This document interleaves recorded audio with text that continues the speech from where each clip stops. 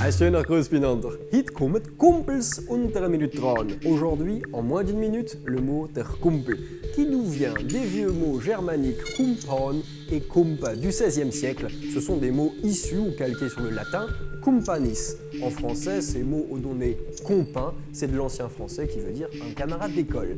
Der Kumpel, c'est exactement ça. Un bon copain, vers Toesch, Wamanapruscht, qui répond présent quand on a besoin de lui. Le pluriel, c'est Kumpels. C'est rare d'ajouter un S au pluriel en alsacien, mais là, si. L'exception confirme la règle, là aussi. Vous pourrez par exemple dire à votre moitié Ich gehe hitove mit mini je sors faire la fête avec mes potes. En espérant que ça passe, hein Bis Paul